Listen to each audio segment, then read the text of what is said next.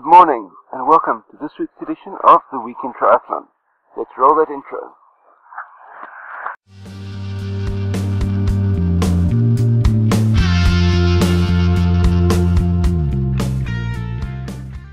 Undoubtedly, the biggest news of the Triathlon Week has been Angry Bird picking up the biggest paycheck in triathlon history, that being the million dollar bonus check for winning the Triple Crown in Bahrain this past Saturday.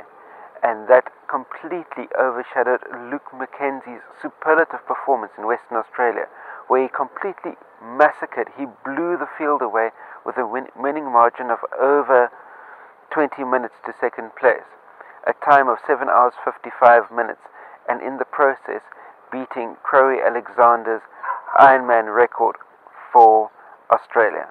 So yes, the races from last weekend in the uh, World of Ironman was ov- obviously on Saturday. The fifth was Ironman Bahrain, and as I mentioned, Daniela, Daniela Ryf, Angry Bird, picked up the win for the women's division, and in the process, a million dollar paycheck.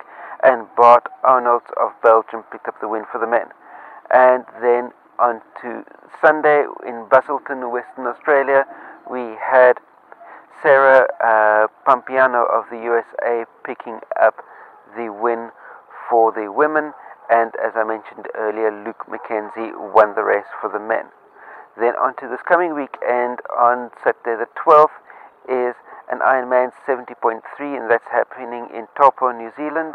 And on Sunday, there's an Ironman 70.3, and that's taking place in Victoria, Australia. So Ironman is centered all around Australia and New Zealand this coming weekend, and we'll stay tuned for next week to see how the pro races in those two events played themselves out. Now for Challenge Family news. Well, the Challenge family seem to have wound down their news channel for the for the end of year holidays, but I'll keep a close eye on all the different news feeds and any new developments and updates in the coming weeks. I'll be making sure that you're the first to know right here on the Week in Triathlon. As far as this coming weekend is concerned, no races on the Challenge Family program for this coming weekend, and there were no races this past weekend for me to report back on either. Now for Xterra. Yes, it's true. The second oldest Xterra event after the Maui World Championship has been axed from the calendar. That's right, there's no more Xterra Richmond. And while I'm at it, there's no more Xterra Las Vegas either. The uh, both events have been without a destination sponsor for the 2016 event, and and without a destination sponsor, both of these events are no longer financially viable. However, Xterra has confirmed that they are looking for a potential licensee to take over one or the other or both of these two events. But even for a licensee without having a destination sponsor, it won't be financially viable for the licensee either, but we'll have to wait and see how developments unfold there. As far as events are concerned, Xterra is in sleep mode through until February of 2016. Now for the exciting world of ITU, and boy do we have a couple of clangers coming for you, for you today. The, we are just eight months away from the Rio Olympic Games, and the results are in for the seawater pollution levels where the triathlon sea swim will be taking place. And the news is less than stellar. Both viral and bacterial pollution levels are widespread, even far out to sea. So, how they're going to be getting all that mass of seawater clean enough for them to be able to use for the triathlon is anybody's guess. Then, looking ahead to the next couple of years, the ITU has come up with this brainwave idea to group together duathlon, long distance triathlon, and cross triathlon in a single multi sport week type um, destination event uh, for the coming years. And as we already know that the ITU's idea of cross triathlon is an incredibly lame, dumbed down version of what we all know Xterra to be. So if they, the, the choice of venue is being based around what is ideally suited for the uh, for the long distance road triathlon and the road duathlon, most of these type of destinations are have got an incredibly lack of technical trails or anything like that. So all that I can think of for the these coming events will be that the uh, triathlon cross will be even lamer, will be even further dumbed down from where they already are.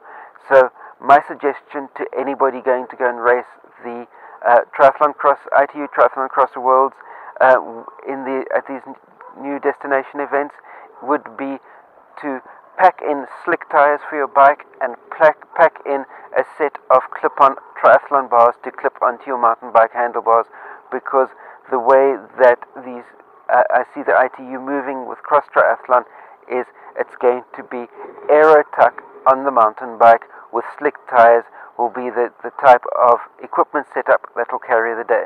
But we'll, we'll have a look see at how these um, event courses pan themselves out during the planning phases over the phases over the next couple of months.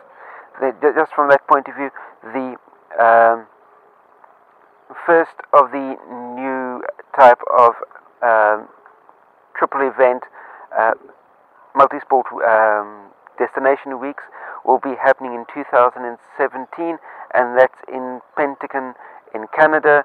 The second one, 2018, will be in Odense in Denmark, and 2019 will be in Pontevedra in Spain. And I know personally, as far as Pontevedra is concerned, I was I looked at that briefly as a possibility for an Xterra, and within uh, two minutes of looking at Google Earth, I completely shelved the idea because there is a complete lack of technical trail riding within the region of Pontevedra. So where they're going to be putting a triathlon cross, I've got no idea. Maybe laps up and down the Halfpack beach uh, beach sand, who knows. But be that as it may, those are the, the three events coming up, and as I said, pack in your slick tires, pack in your triathlon bars when going to go and race ITU Triathlon Cross uh, World Championships in 2017, 18, and 19. Then on the event front, as far as the ITU is concerned, this past weekend there have been no ITU events whatsoever, so nothing to report back on there. However, this coming weekend, Saturday the 12th of December, is going to be a middle distance uh, American Cup event taking place in Paracas, and that is in Peru. That brings us to the end of this week's edition of the Week in Triathlon. Be sure to share this out amongst all your triathlon friends. Remember, thumbs up if you like this type of content. Post any comments, questions, criticisms you have. Post that in the comment section down below. And last but by no means least, there's a big red subscribe button. Hit that subscribe button. That way stay subscribed to my channel for all the new content that comes out on a day-to-day, week-to-week basis. Remember, I'll see you next week Friday for another edition of the Week in Triathlon. And until then, every single day there will be a new video answering an athlete question posted right here on the very same channel. So be, be sure to subscribe and catch all of that news as it comes out daily. So until we meet again for another edition of the Week in Triathlon or daily for the, for the athlete questions, be sure to stay carved up for the win and I'll see you next time. Cheers. Uh, Crowley,